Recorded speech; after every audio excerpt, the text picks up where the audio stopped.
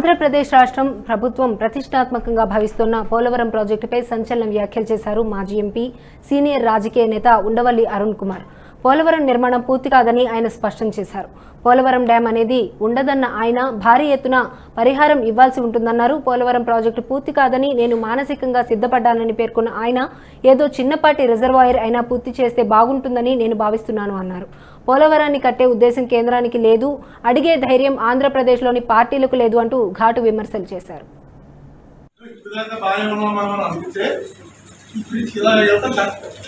ఎవరో జరుగుతుంటాయి సరే నేను చక్కగా ముస్లిం మనకి ఈర్ష్య ఎవరి మీద ఉన్నారంటే మనకన్నా బాగుపడిపోయింది పెట్రోల్ బాగు చేసుకుంటూ ట్యాక్సీ చేసుకుంటూ టైర్లు టైర్లు ఇంజనీరింగ్ చేసుకుంటూ ఏంటి ఒకప్పుడు ఈ దేశాన్ని ఐదు ఆరు వందల ఏళ్ళ పాటు పరిపాలించినటువంటి వాడు వాళ్ళు ఏం చేస్తున్నారు?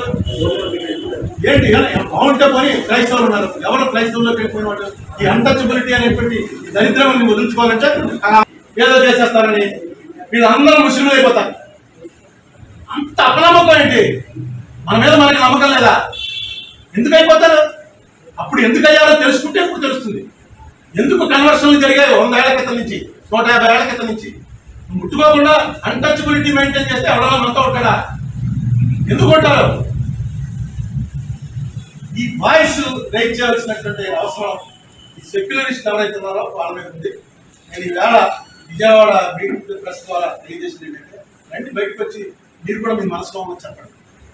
ఈ ప్రచారం తప్పు దీన్ని బ్రేక్ అయింది అనేటువంటి ఒక మెసేజ్ ఈక్వల్గా వాల్యూమ్లో వస్తే తప్ప దేశానికి చాలా ప్రమాదం.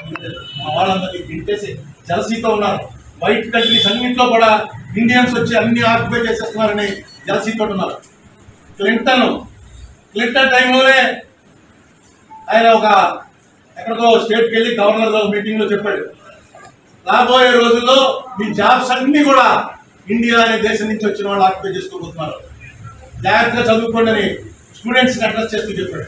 ఇది ట్వంటీ ట్వంటీలో ట్వంటీ ట్వంటీ కాదు టూ థౌజండ్లో టూ థౌజండ్లో చెప్పాడు.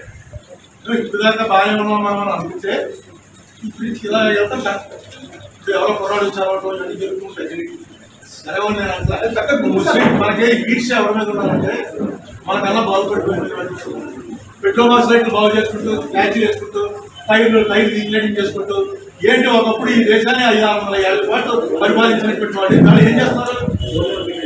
ఏంటి? ఇలా పని క్రైస్తవులు ఉన్నారు. ఎవరు క్రైస్తవుల్లో వెళ్ళిపోయిన వాళ్ళు ఈ అన్టచబిలిటీ అనేటువంటి దరిద్రం దరిద్రాన్ని వదిలించుకోవాలంటే ఆ ఏదో చేసేస్తారు